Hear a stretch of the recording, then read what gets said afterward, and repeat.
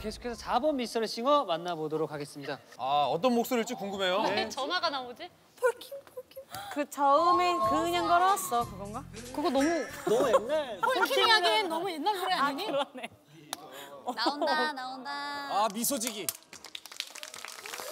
아, 또 hun내가 나네.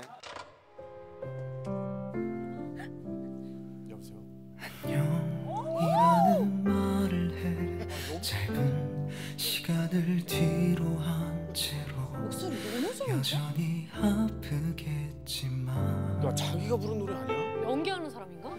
안녕 이제는 안녕 이 말 도저히 할 수가 없어 너로 가득 찬내맘 아, 진짜 어울리는데? 겨우 내가 너무 할수 있는 왜 이렇게 잘 어울려? 너를 사랑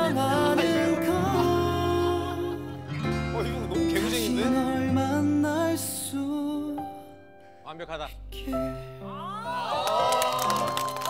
립싱크 1등.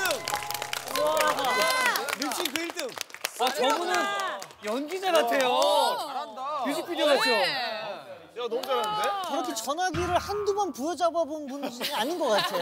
어떻게 보셨나요? 정면 얼굴을 뵀을 때는 제가 잘 감이 안 왔는데 네. 측면으로 립싱크 하시는 걸 보니까 노래를 잘 하시는 분인 것 같아요. 아 그래요? 실력자 실력자. 근데 중간에 그 음치 부분도 립싱크를 하신 건가요? 네. 실력사가 맞다면? 네. 그게 사실이라면 저분은 정말 뭔가 사이코패스 아이고 거기까지 가요.